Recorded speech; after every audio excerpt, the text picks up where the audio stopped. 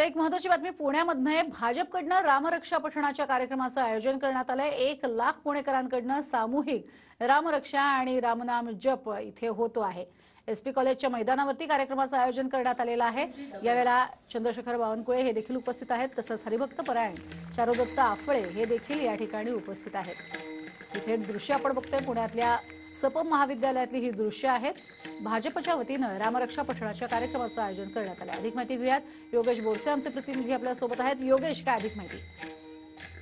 प्रज्ञा भाजपकडून आज पुण्यातल्या एस पी कॉलेजच्या मैदानावरती रामरक्षा पठण त्यासोबतच राम नाम जपाचा कार्यक्रम आयोजित करण्यात आलेला आहे.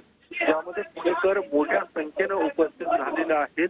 आपण पाहू शकतो भाजपचे प्रदेशाध्यक्ष चंद्रशेखर बावनकुळे सुद्धा या कार्यक्रमाला उपस्थित झालेले आहेत आणि थोड्याच वेळात या रामरक्षा पठणाला सुरुवात होणार आहे.